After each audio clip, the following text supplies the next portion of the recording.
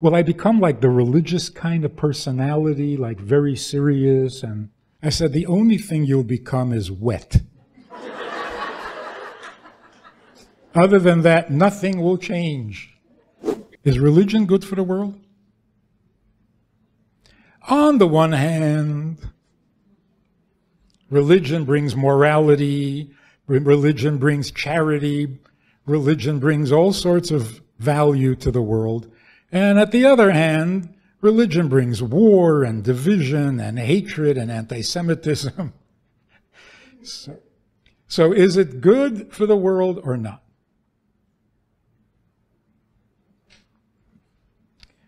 No, it's not. What else do we want to talk about?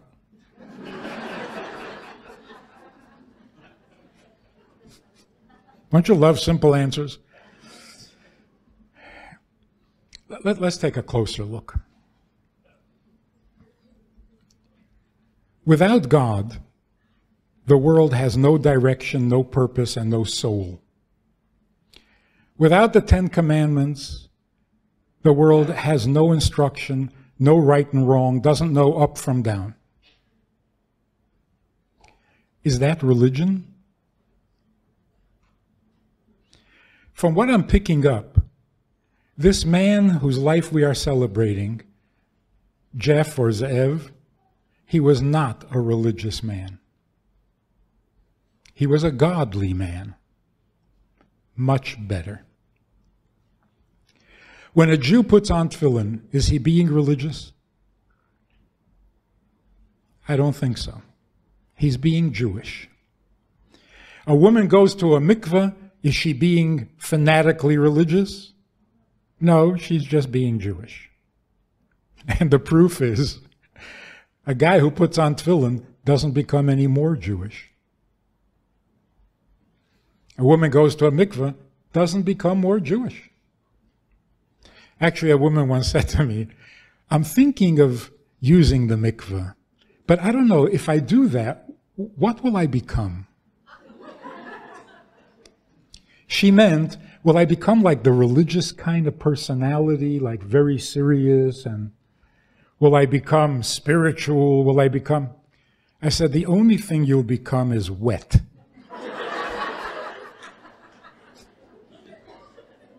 Other than that, nothing will change. You're a Jew now, you'll be a Jew when you come out of the mikveh as well. When a Jew does something Jewish, why does it get a title? Oh, you're eating Jewish now. well, yeah, I'm Jewish.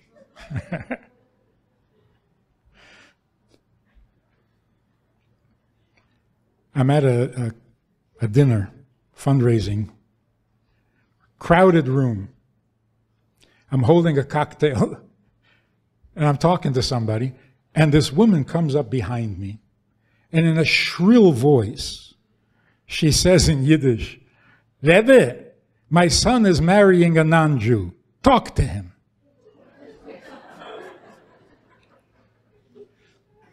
I turn around. She's about that big but a very powerful personality. And her son is standing right there. The whole room heard her say this. The whole room turns around. And I thought, this poor guy, he must be so embarrassed. But I look at him and he's, he's not.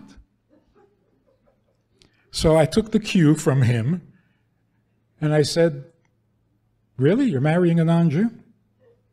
He says, Yeah. I said, So you'll be the Jew in the family? He says, Yeah. I says, So when they have a question about Judaism, you'll, you'll answer it. He says, Yeah. I said, Do you feel like you know enough to be able to answer the questions? He said, What is there to know? And he was sincere. What is there to know? I said, whoa, five books of Moses, 22 books of prophets, 60 volumes of Talmud, and about a million customs.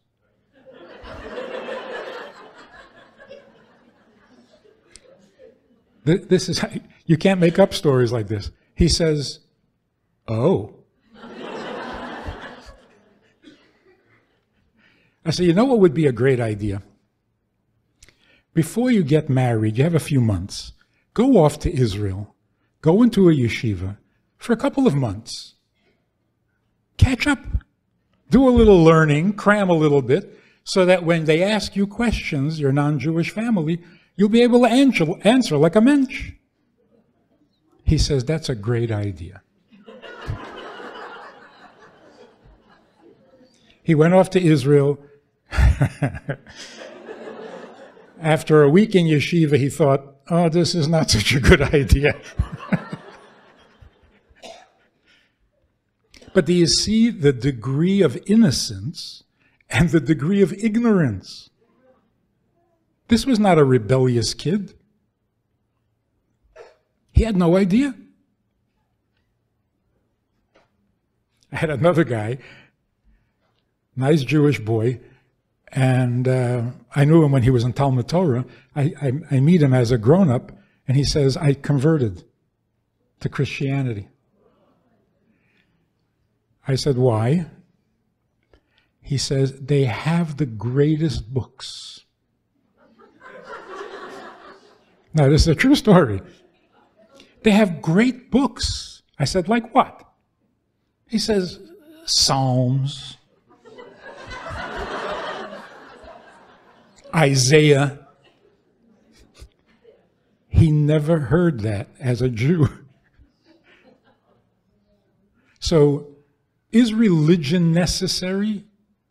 Or is it important that a Jew should know what a Jew is? So here's the, here's the true story. Judaism was never a religion.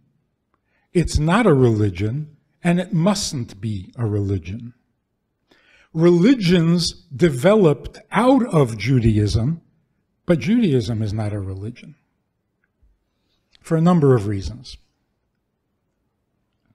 Firstly, religion for all practical purposes means living a certain way in order to gain favor above, whatever that favor is each religion according to its, to its style.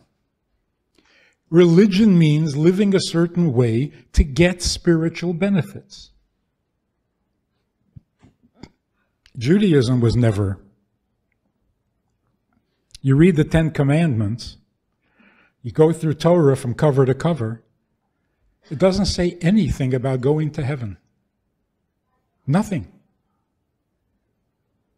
In fact, the Torah begins, in the beginning God created heaven and earth, and that's the last time heaven is mentioned. The rest of the Torah is about earth. So in Judaism, going to heaven is not the goal. Because, you know, to get there, you have to die. That's not a Jewish idea.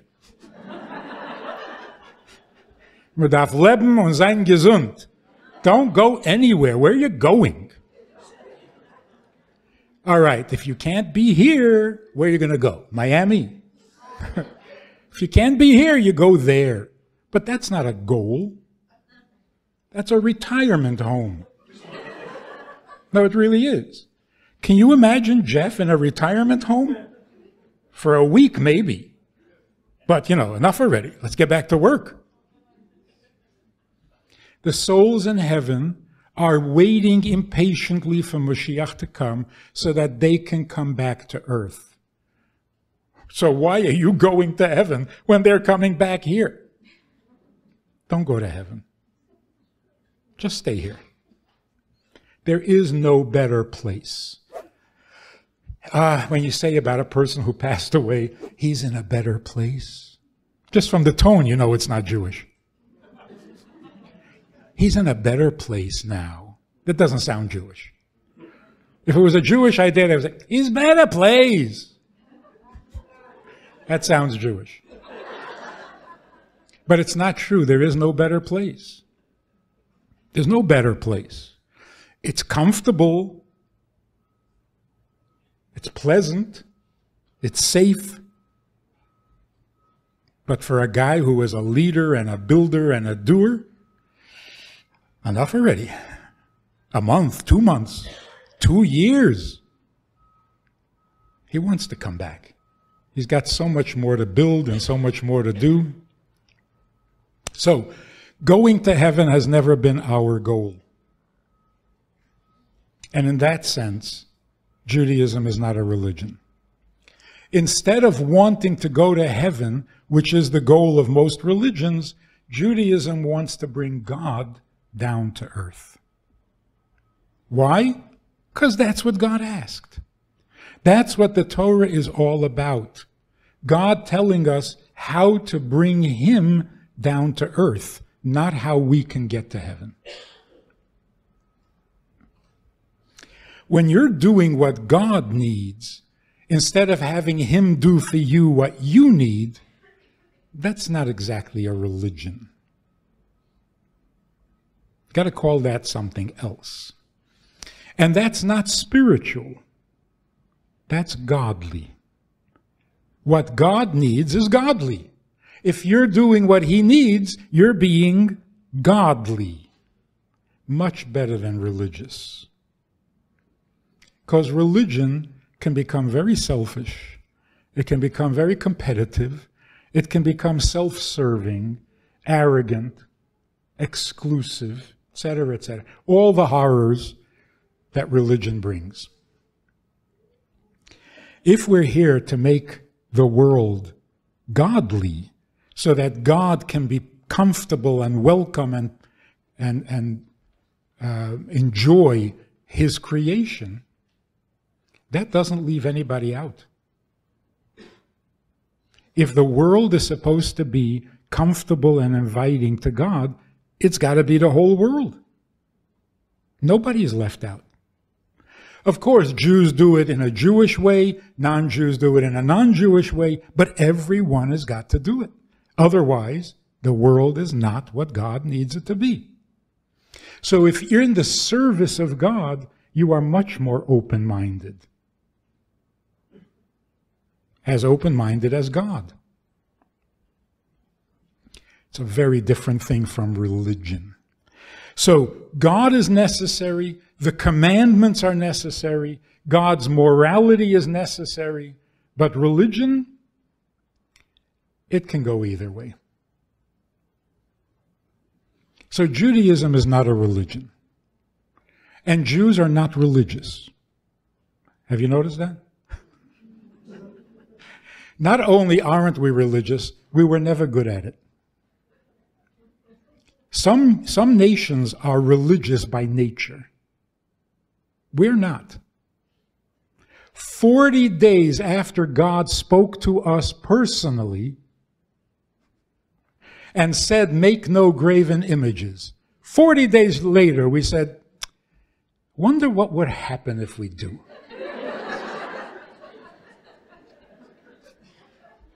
So we made a graven image. So God said, You guys are impossible. I just said, Don't do that. And Moshe said, Moshe said in our defense, Yeah, isn't it great? They're such stiff necked people. And God said, Yeah, you're right. I like that. Stiff necked people is the opposite of religious people. religious people bend to God's will. We don't. We correct him. You didn't mean do nothing on Shabbos, did you? Just waste a day like that? Come on.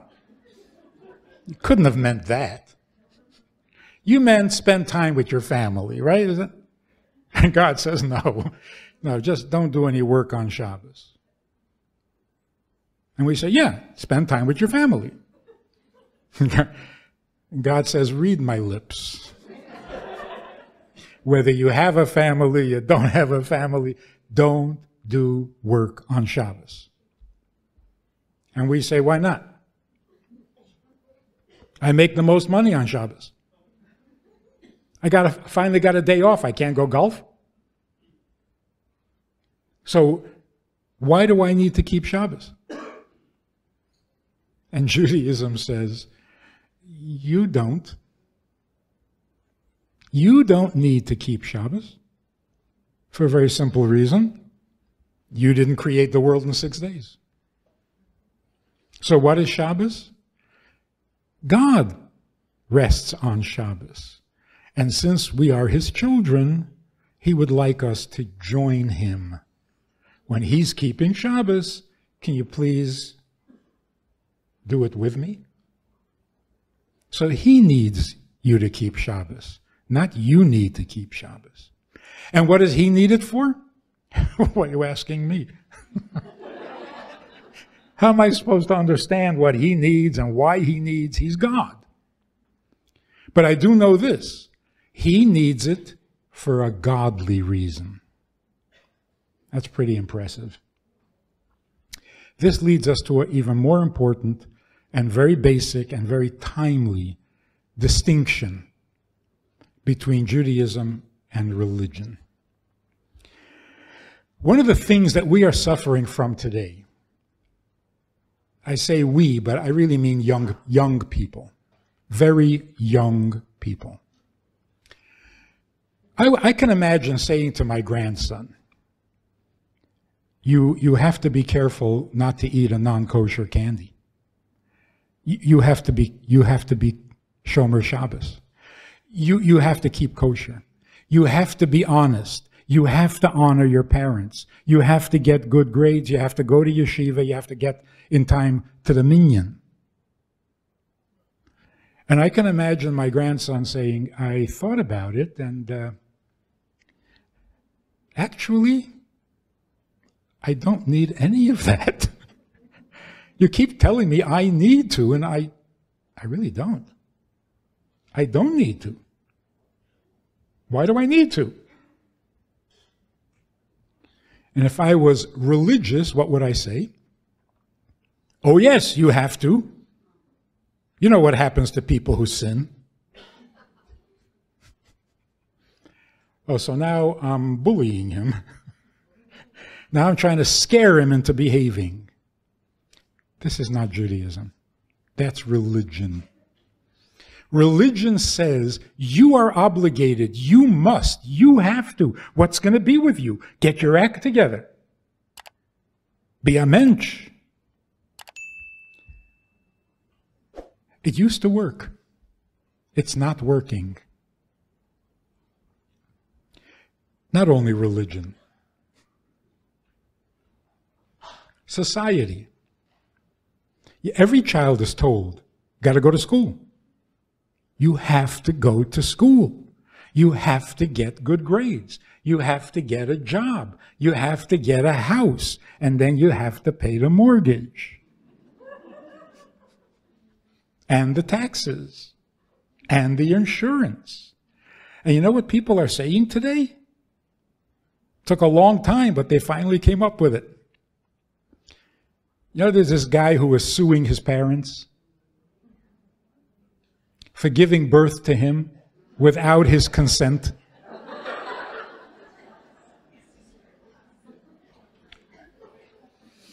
I think he's got a good case. You didn't ask me. You went ahead and gave birth to me, and now I have to pay the mortgage? How did that happen? You gave birth to me, you paid a mortgage. You know, that kind of makes sense. As scary as it sounds, it really made sense. I didn't ask for this. You made me, so you pay for me. Doesn't that make sense? Anyway, the, the, uh, the case was thrown out. Now, this is real. Both his parents are lawyers. He didn't have a chance. but, but they threw it out of court because the parents said, We were trying to consult with you, we couldn't find you.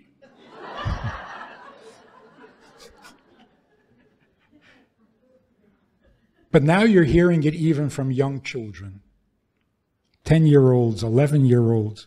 You tell them to put a book away or to put their shoes away, And their answer is, I didn't ask to be born. Of course, parents panic, run, rush the kid off to, to therapy, and put him on medication for anxiety, depression, and suicidal thoughts. if your child or grandchild ever says to you, I didn't ask to be born, don't give him medicine. Tell him, neither did I.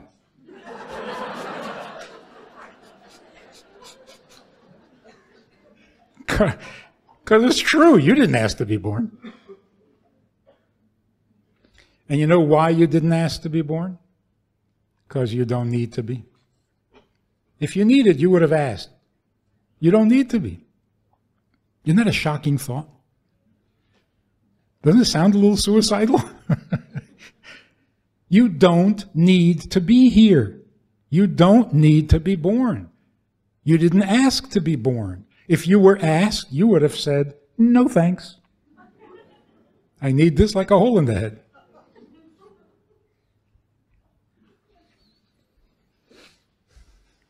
So look at what's going on. Your parents tell you you have to.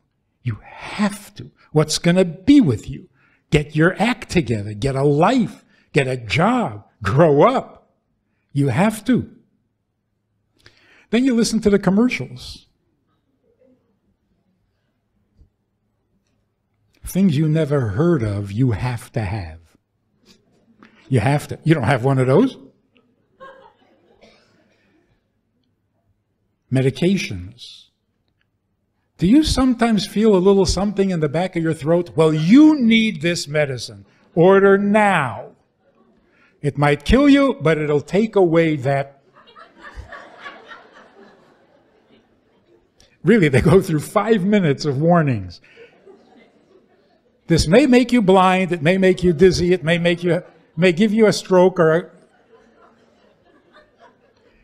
and after five minutes of that, they say, So what are you waiting for? Order now. Order now will send you a month's worth for free.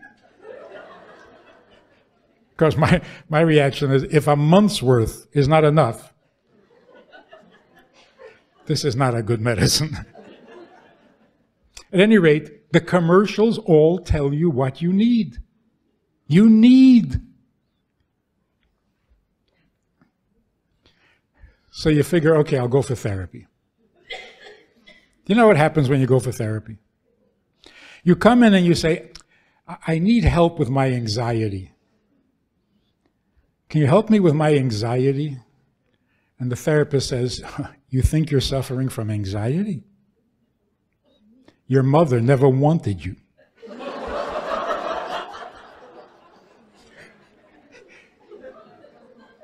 you hate your brother. It's eating you up. So you need much more than you think you need. I said, Oh God, can I get away from this? so then you say, All right, that's it. I'm going into religion. Right? Religion brings you peace of mind, comfort. No, it doesn't. You come and you say, I've got so much anxiety, I've got so many worries, I have so many burdens. I'm looking for an answer. And what do they tell you? You think you have problems in this life? Wait till you get to, oh, is it? You need to be saved from what happens up there. You need to do this, and you need, and it just piles on. More needs. What do you do? Where do you go? That's what Judaism is. You know what Judaism actually says? Uh, in the beginning, God created heaven and earth. Did you hear that? Did you hear that? What a relief. I thought I had. From all these rules and regulations, you must, you have to. It felt like I had created the world and it was all my fault. It's not. In the beginning, God created heaven and earth. Relax. What's your problem? He's got problems. He created a world and it just doesn't cooperate. In the beginning means before you had any needs. Before there was you and before you had needs, He created the world. So who has needs? You? You didn't even ask to be born. So if your child says, I didn't ask to be born, this is a wise, mature insight into reality. Don't get nervous about it. Agree with him. We don't ask to be born. And if we don't ask to be born, how is it that it's my responsibility? I have to, I must. No, no. the creator of the world has a need. We don't. In fact, all the needs we do have are not ours. I need to eat. I need to eat. I need to stop eating, and I can't. I don't know if you have this problem, but it's pretty common. I need to eat? It was not my idea. If I designed myself, I would have a more efficient, I would have a more efficient existence that doesn't need to eat. So why do I need to eat? I don't know. It's not my idea. God created me with a need to eat. So really, He needs me to eat. I don't. That's Judaism. This is not religion. This is simply a realization of where we fit in. We didn't create the world, and therefore we don't have needs. The Creator created the world, and He has a valid need. And amazingly, the fulfillment of his need depends on us. That's, that's amazing. So, what is a mitzvah? A mitzvah means God depends on you to do what he needs done. So, on the one hand, it's such a relief. It's so liberating. My problem? I don't have any problems. My needs, they're not mine. Makes our burdens so much lighter. And on the other hand, I can do for him.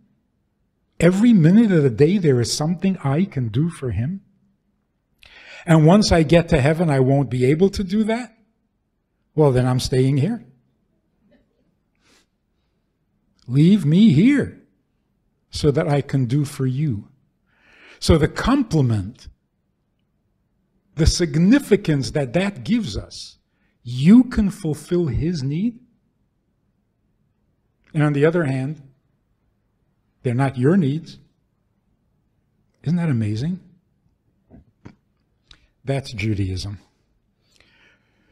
The problem with religion, besides starting wars, it burdens you and it puts you at the center of the universe.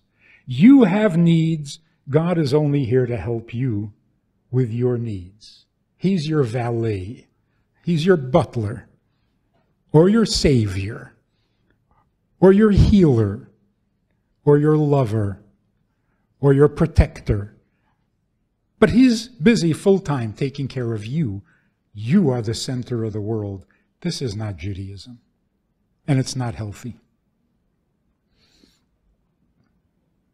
Serve God with joy. Does that make sense now? If you're trying to be religious, there will be no joy. You get the impression that a person who's religious doesn't know how to smile?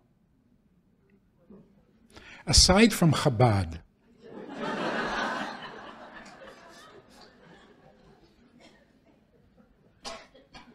Chabad doesn't fit any of the images, but as, as, a, as, a, as a default position, if you're really religious, you're very serious, borderline depressed. Doesn't it, doesn't it seem that way? How can you be religious and happy at the same time? Something's wrong. you see somebody happy, you know they sinned.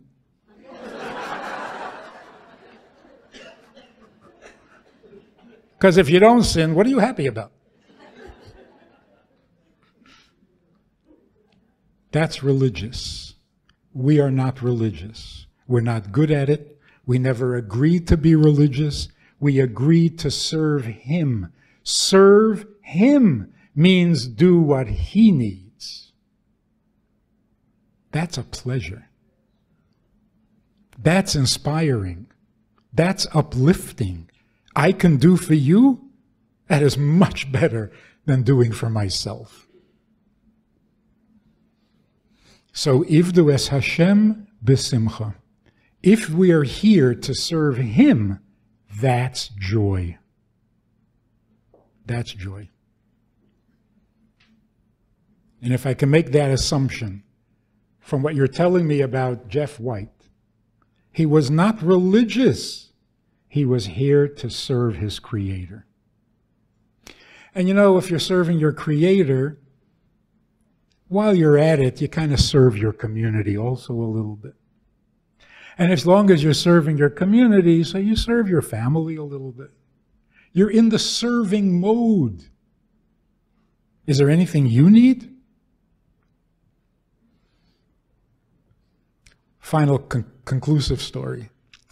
I had this couple, marriage counseling. They were brilliant in their evil. I, I mean, I've heard people cut each other down. Most couples who are having trouble become brilliant. But this couple, wow. They were so good at it. They would walk in before they even sat down. Didn't you tell her last week that she shouldn't? Well, she did it again. No, I didn't. You st- It was just week after week. It was hard to listen to. So I, came up with a brilliant idea. I said, next week, let's get together at the kosher deli in public. I figured they'll tone it down. We get together at the deli. There are about 20 customers sitting at, there at the tables. It made absolutely no difference. They launched into their attacks and counterattacks. It was as if nobody was in the room. Finally, they're exhausted. And the husband says, I think we have a serious problem here. I said, Actually, it's not that serious. He says, Really? I said, Look, how serious can it be? 20 people here heard all about it. They don't care.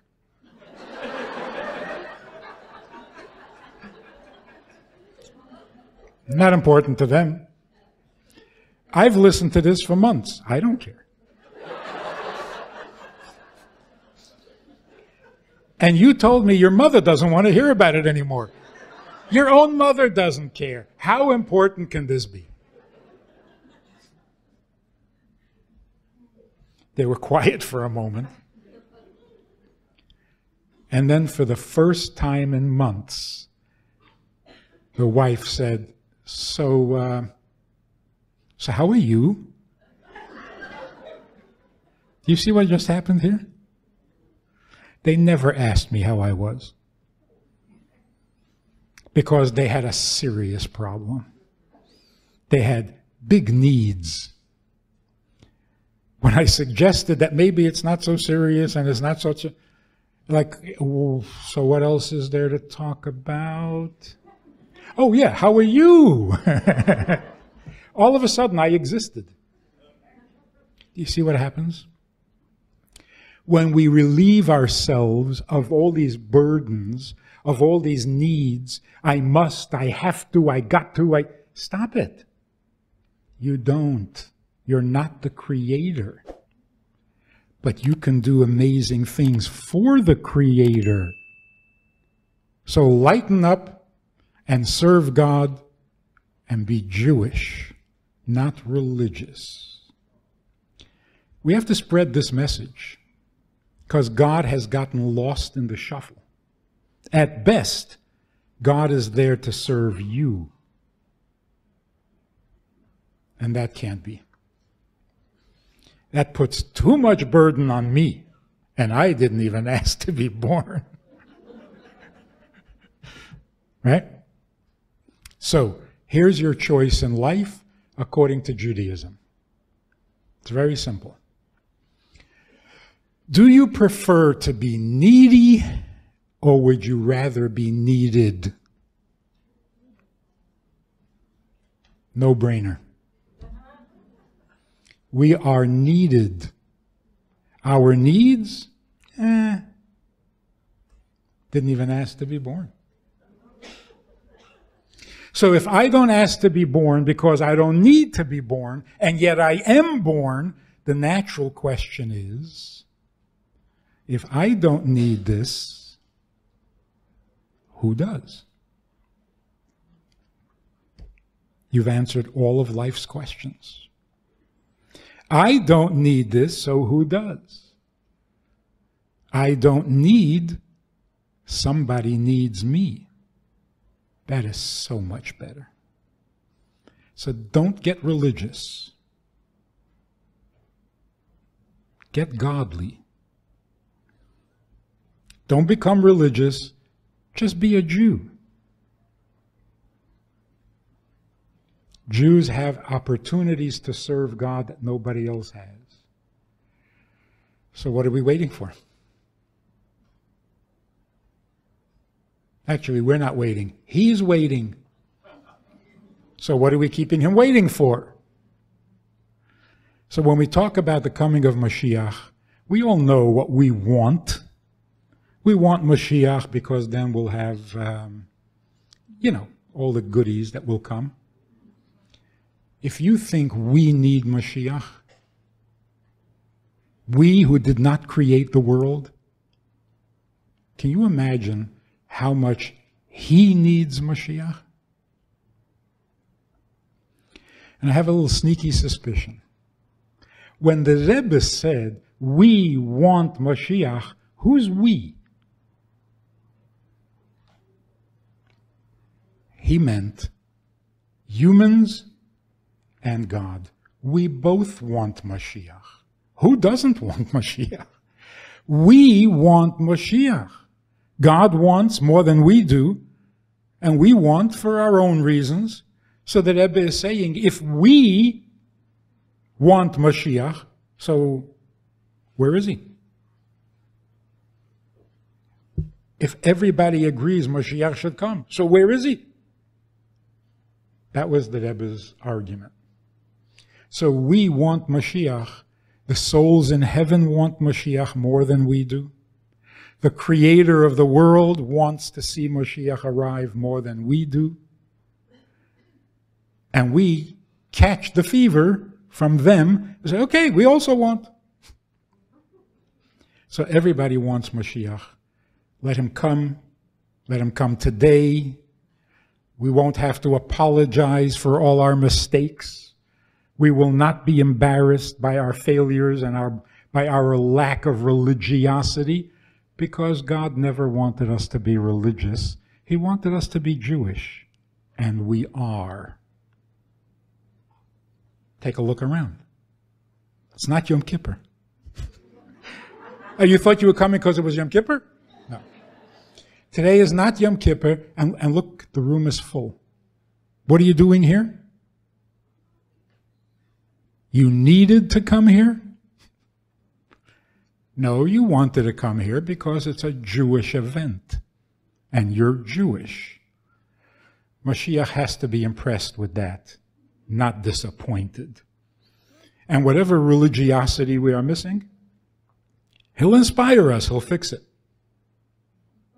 But we, being Jewish, are the biggest blessing to the world, to God, who is absolutely thrilled with his people.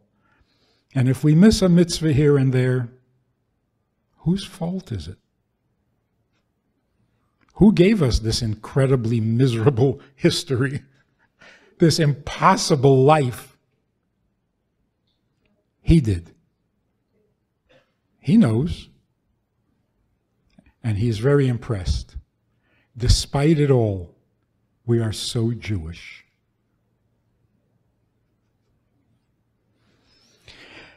The soul of Usher, of Zev, Jeff, has got to be thrilled beyond words. Can you imagine this happening for you? Two years later? This is really amazing. We take it for granted. Yeah, I got an invitation, I came. you know, it's not, it's not that simple. It's awesome. It's awesome. So let Mashiach come. Let him be impressed with how good we are, how Jewish we are. And religion, let other people be religious. You just be Jewish. Thanks for listening. We have a Sunday night program for VIPs that you might be interested in. It's informal, it's questions and answers, it's conversation. It's really relaxed, it's really pleasant, enjoyable, informative, and uh, kind of community like. It's a Sunday night program. There's a um, Wednesday morning program for the VIPs, and there's a Wednesday night program. All of it just conversation, casual, laid back, unscripted. So join us. Take a look. Click uh, the link below and see which which of the three suits you best and join us for some enjoyable conversation.